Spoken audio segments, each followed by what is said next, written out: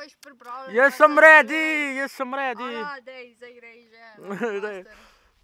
A si ti? Ja. Ti že snemaš, je pizda, pa tako povej.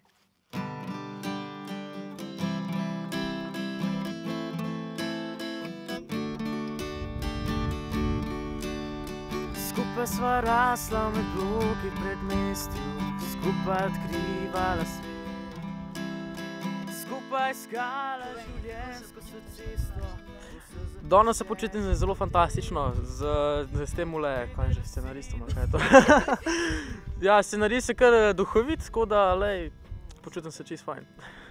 Koliko, si že kdaj tako igral?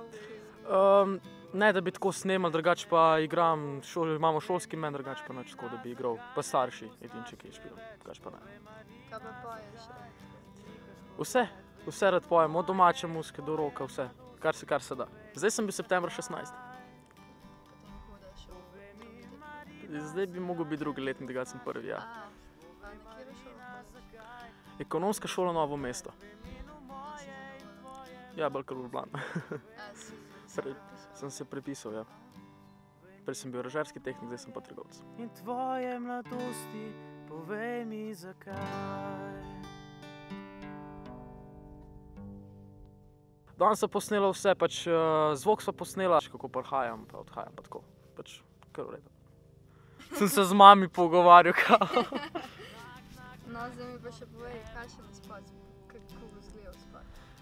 Spot, akustik, pač uh, spot, uh, ko bom prihajal, pa bom zagledal kitaro na mizi, bom malo okoli pogledal, kako pač, če od koga je ta kitara, pa bom prišel do mize.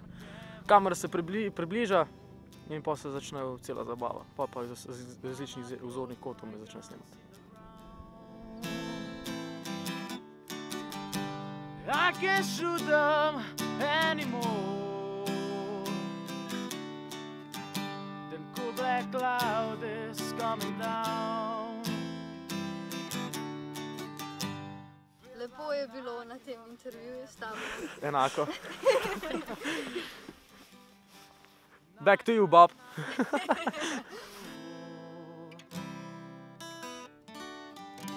knock, knock, knocking on heaven's door. Knock, knock, knocking on heaven's door.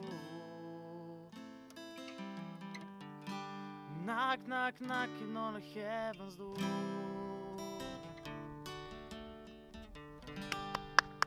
Cela scena. In kat! Pička v materina! Fuk! Je hudo, je drugače pa dobro poješ. res. Če me je ta človek poslušal tri dni, daj pokaži on komačak, samo tega. Ej, res Oh ful lepo God, ja. poješ, nisem vedela.